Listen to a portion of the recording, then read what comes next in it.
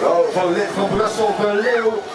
Van de Haven Thijssen van Rossum, van der Sanden en van Simmeren.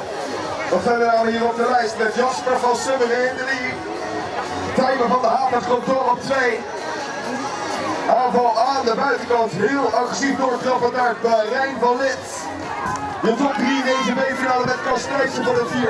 Finn van Brussel voor de 5. Aan de binnenkant een aanval van Joe de Leeuw. Laatste een stuk van de thuisrijder. Hier, Tijmen van de Haven in deze B-finale. Het mooie steenfinale.